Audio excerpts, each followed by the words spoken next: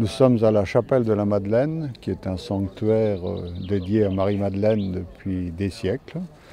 Et alors il y a une histoire de premier débarquement avec les Vikings et un deuxième débarquement en 1944.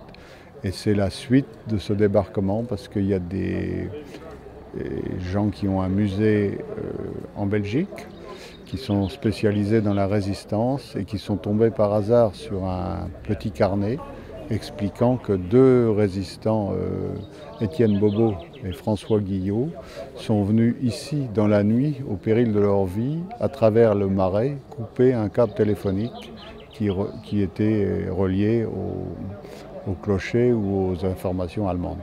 Cette partie de l'histoire était restée inconnue. Euh, Étienne Bobo a été fusillé le 15 juin 1944 à Boucoudray et François Guillot a survécu à la guerre.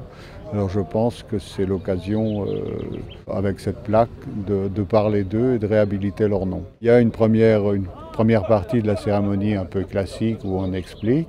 Normalement, nous avons cinq vétérans qui ont débarqué à Utah, donc on va essayer de mettre à l'honneur.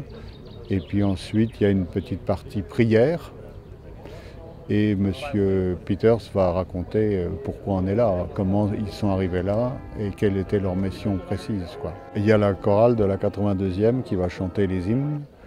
Et puis il y a un détachement de la 4e division parce que le, le matin du 6 juin, un premier PC du 8e régiment était là dans cette chapelle. Donc c'est alors on, a, on tenait à ce que ce soit un petit nombre compte tenu de la taille de la chapelle, mais c'est quand même très symbolique que la 4e division soit là. Cette chapelle est toujours ouverte, entretenue par les habitants du village de la Madeleine, qui sont très attachés.